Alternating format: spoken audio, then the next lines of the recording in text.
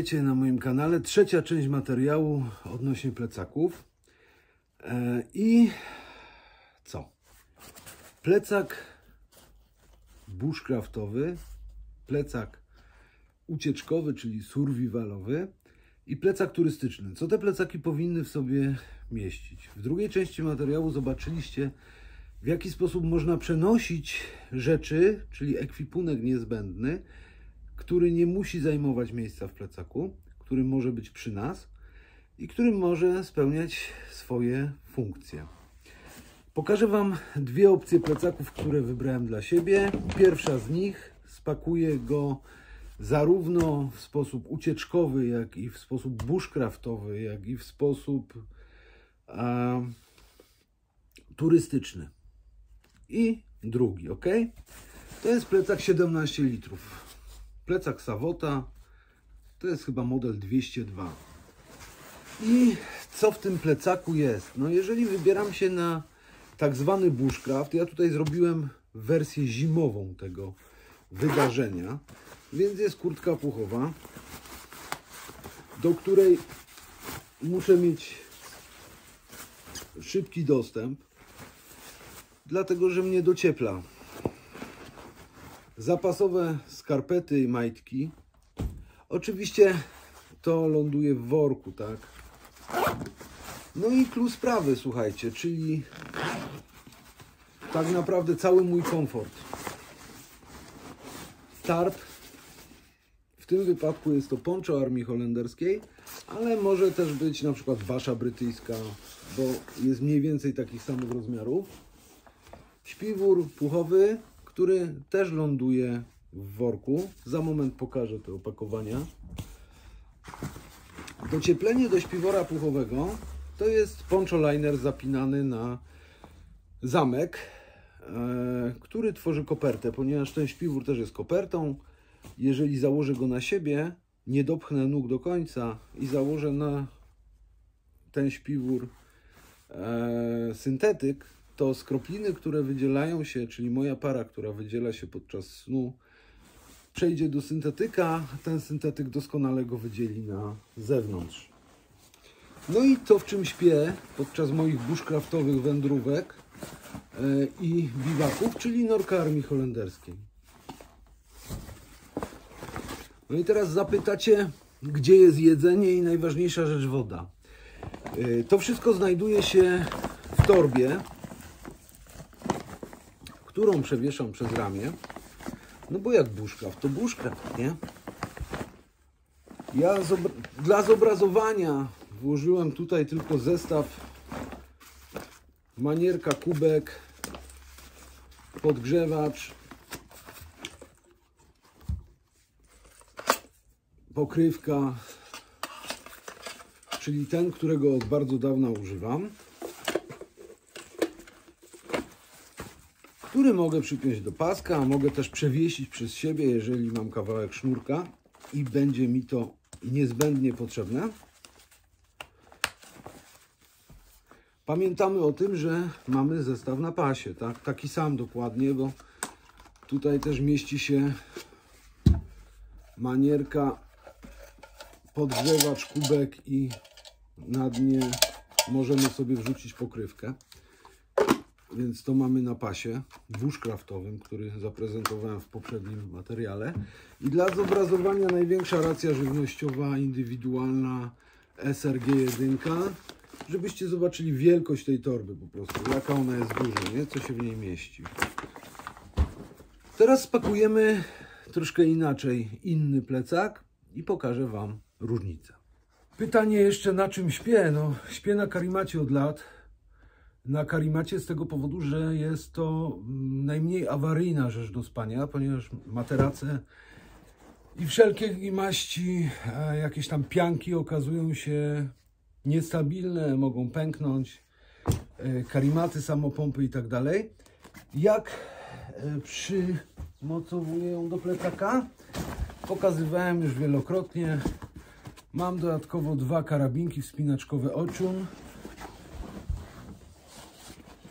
i przymocowuję to w ten sposób oraz blokuję zakręcając z jednej z drugiej strony Karimata ma 450 gramów.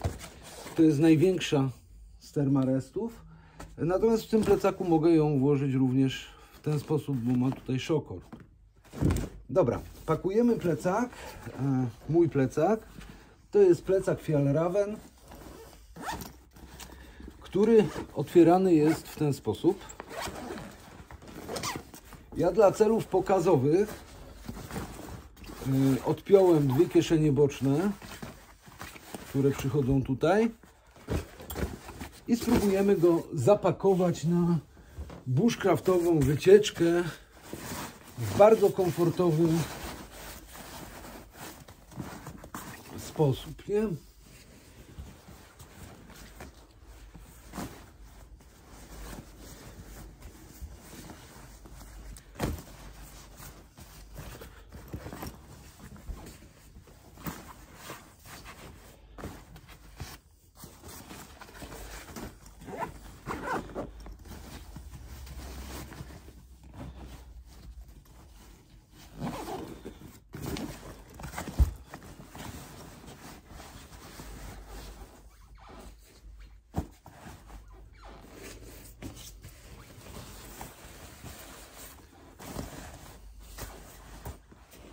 Oczywiście poncho możemy włożyć tutaj. Zostaje nam jeszcze całkiem sporo miejsca, zobaczcie, w tym plecaku. To jest większy plecak, 28 litrów.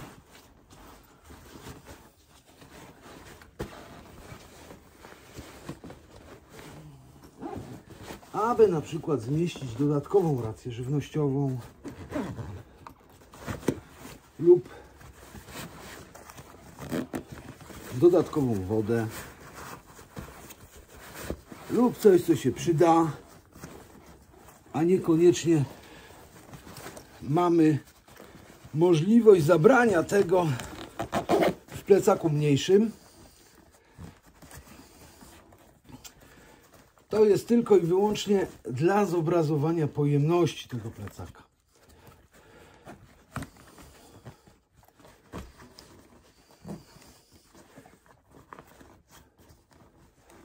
Gdyby tych butelek nie było, no to oczywiście byłby to szybki szpil. Dodatkowo zostaje nam przestrzeń wewnątrz komory na wierzchu plecaka. I to jest całkiem spora przestrzeń. Naprawdę całkiem spora przestrzeń. Ja może podniosę. Całkiem spora przestrzeń, w której jest rain cover, czyli pokrowiec. No ale tak dla, też dla zobrazowania Państwu, ile tutaj mamy przestrzeni w tym plecaku. Spakujemy dwie boczne kieszenie.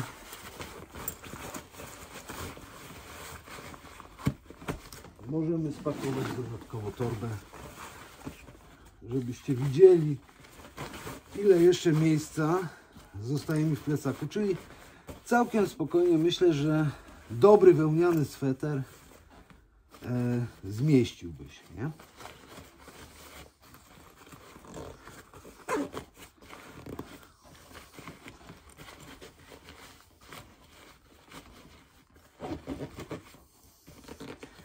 Dodatkowo w tym plecaku mamy jeszcze do wykorzystania dwie przestrzenie bagażowe, mianowicie nerki. Z jednej, z drugiej strony. Dla zobrazowania mieści się cała moja dłoń. Mm, Co ja mogę, co ja tu mam, żeby Państwu pokazać? Maskotki mojego psa na przykład, takie.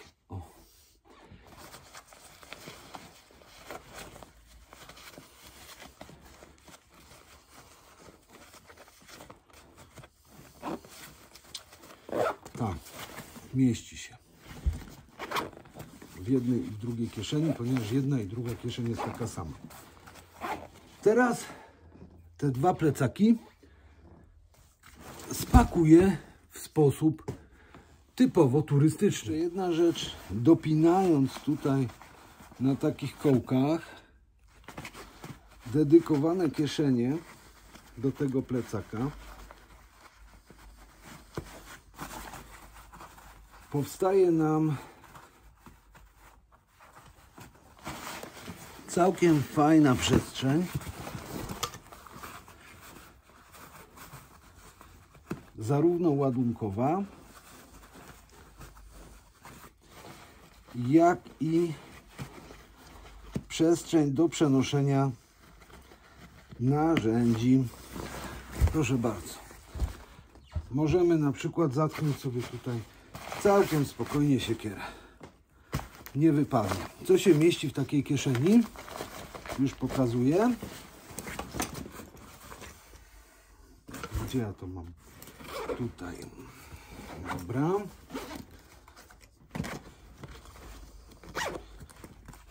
No oczywiście ten plecak ma jeszcze pasy tutaj do spinania, więc możemy na przykład kije przypiąć w przypadku trekkingu, nie?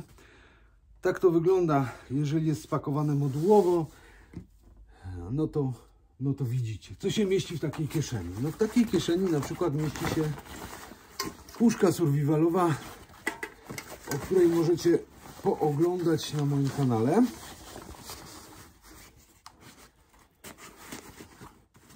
I mieści się na przykład manierka z kubkiem, podgrzewaczem, kuchenką.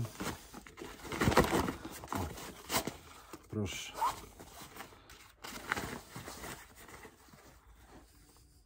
Ale mieści się też wełniony sweter albo kurtka przeciwdeszczowa.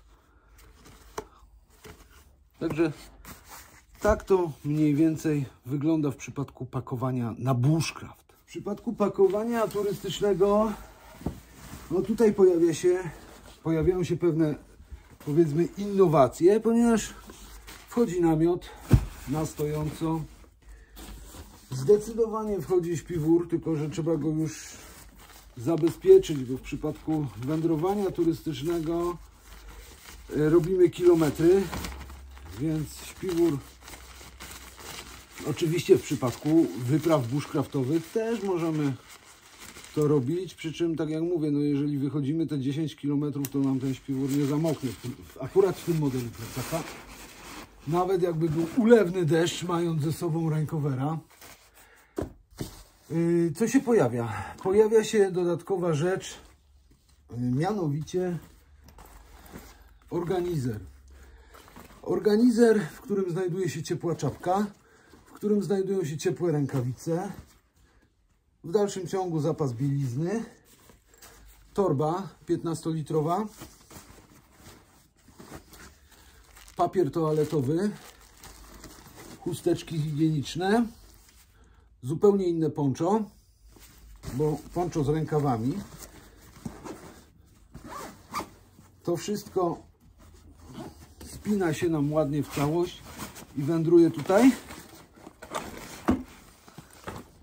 Dodatkowo znajduje się kurtka puchowa, którą też trzeba zabezpieczyć. Więc w przypadku akurat wyprawy turystycznej polecam sobie zabezpieczać dobrze rzeczy, bo różnie bywa w górach. Druga kurtka puchowa, jeżeli jest to zima, a mamy cienkie kurtki puchowe, bądź na przykład bluza wełniana, bądź na przykład jakiś sweter. To też sobie zwijamy.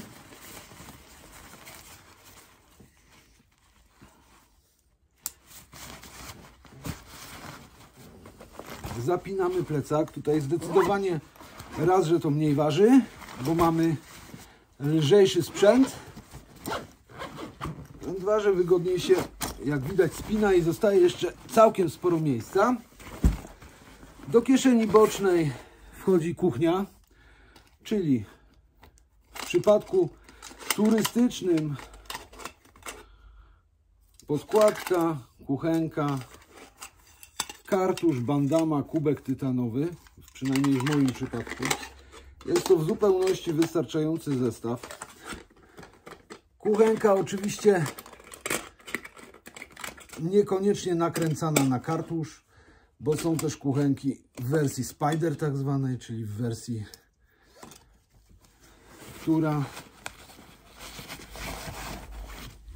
jest rozkładana, butelka na wodę.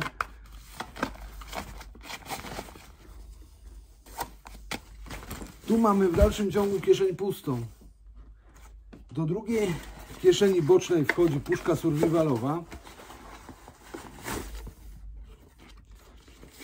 I do drugiej puszki, i do drugiej kieszeni w przypadku wypadów turystycznych wchodzi bardzo sporych rozmiarów apteczka.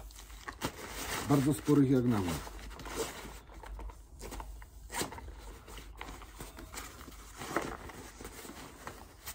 Tutaj w dalszym ciągu mamy tylko i wyłącznie nasz pokrowiec i nic więcej. Co z tego wynika? Wynika z tego coś, co powiem za moment. No to teraz, czy możemy te plecaki spakować jako plecaki ucieczkowe? Oczywiście tak. Mają odpowiednią pojemność i tak dalej, i tak dalej, i tak dalej. W tym plecaku jeżeli wykorzystuję go jako plecak ucieczkowy. Wchodzi moja puszka survivalowa tutaj. Żebym miał ją zawsze pod ręką i dodatkowo torba.